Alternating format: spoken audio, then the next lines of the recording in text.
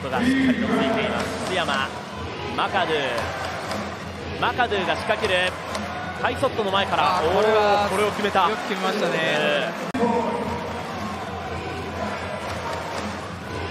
エンスが1回縦をついてから津山です。そしてマカドゥはこれも連続で決まりました、最初立ち位置ですよねそうなると。山のディフェンス。津山 A1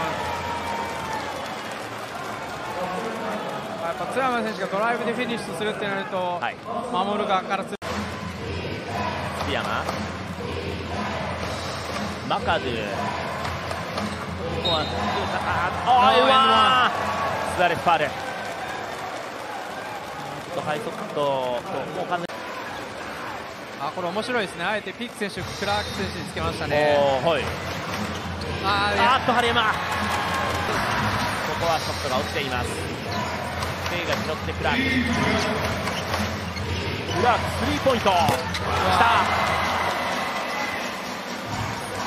これで島根逆転。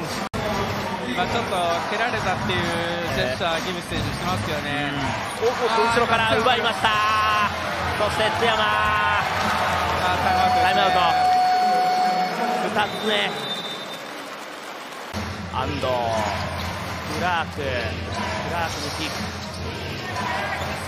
プはしない。クラーク。倒れた。ファールです。ピークファール。バスケットカウント。なんかさっきの。福山に松本玲太。マカドゥおスアレスが防ぐ。晴山はルーズボール。安藤につないで。K はどうだ？スリーポイント。決まった。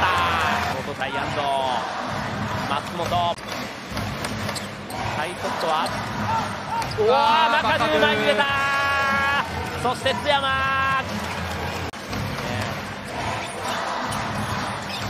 おっと安藤奪った。安藤フィニッシュです。クラーク。クラーク。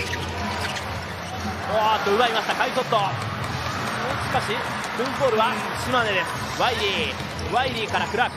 ジャンパーは決まりました前へ K です。クラーククラーク突破。わよく見てた。スリーポイントは決まった。マカドゥ守りました。リバウンドはギブス走っている。おっと奪った。ワイリーそして北側から安藤へ。安藤ドライブそこへ。クラークです。クラークおお柔らかいなんでしょう？あこれディレオブあなるほど。ゲームの。ショットがね中へ。おっとここもワイリー奪ったワイリー選手2回連続でいいディフェンスしましたね。北川クラークスリーポイント。ディープスリーきたタイムアウト。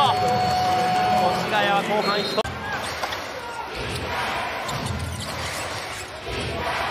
クラーク空いた。ワイリースリーポイント。決めた。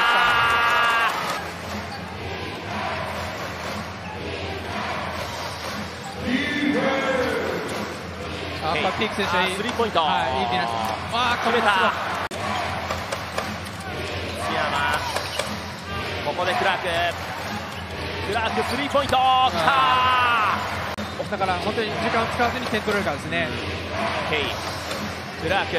クラークスリーポイント。お決めてきた。ここで勝負ありということになりました。さあ越谷アルファーズ。B1 昇格記念すべき初勝利。